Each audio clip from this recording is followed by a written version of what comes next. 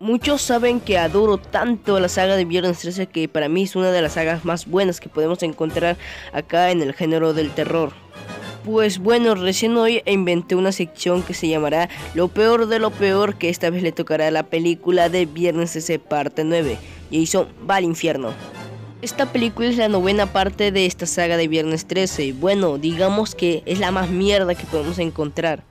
Esta entrega fue una de las más esperadas por los fanáticos, ya que ese parte 8 Jason Tom Manhattan fue mala pero se entretenió, entonces esperamos que esta sea igual.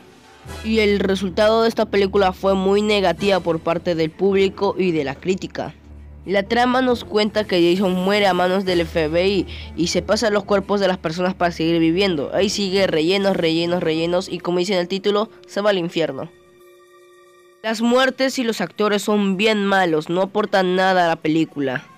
Ni el protagonista aporta nada. Lo que me molestó de verdad fue que Jason aparece al principio, muere a manos del FBI y después sigue que se pasa cuerpos, todito eso, y al final lo vemos. Aparece el Necromicon de la saga de Evil Dead, Freddy Krueger de Pesadilla en la calle Edo, pero eso no lo salva de ser una película mala. Los efectos especiales son los más malos que vas a encontrar en esta película. El film pierde cronología de las demás entregas de la saga. Ah, su, con esta película van a destrozar la saga de Viernes 13, es bastante mala. La trama no es entretenida, al contrario, aburre a todo momento. ¿Cuántos dólares habrá gastado la compañía por hacer esta basura? De esta película resultó la idea de Jason es un Deadeye, que no es cierto.